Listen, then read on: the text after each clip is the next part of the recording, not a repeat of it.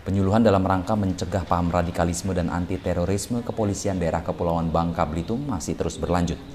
Kali ini penyuluhan diadakan oleh Polsek Air Gegas Polres Bangka Selatan.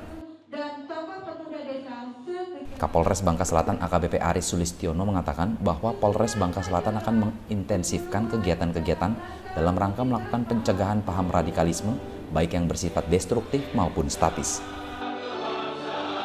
Dalam giat ini, warga masyarakat sangat antusias dan menyambut baik dengan adanya penyuluhan yang diberikan oleh Polres Bangka Selatan. Turut hadir dalam kegiatan ini antara lain Kasat Binmas Polres Bangka Selatan, Kapolsek Air Gegas, Camat Air Gegas, para kepala desa, serta masyarakat sekitar. Kegiatan ini tentunya sangat positif sekali dalam rangka memberikan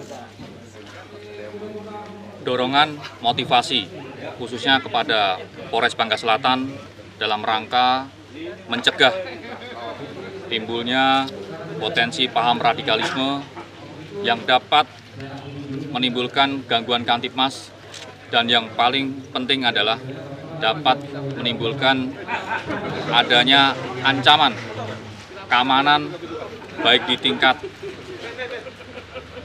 lokal maupun di tingkat nasional. Sehingga Polres Bangka Selatan tetap akan mengintensifkan kegiatan-kegiatan dalam rangka melakukan pencegahan paham radikalisme baik yang bersifat destruktif maupun yang bersifat statis. Dari Bangka Selatan, Kepulauan Bangka Belitung, Tim Liputan Tribrata TV, Salam Tribrata. Ah, di sini ada modus modus rekrutmen calon pelaku teror atau penyebaran radikalisme.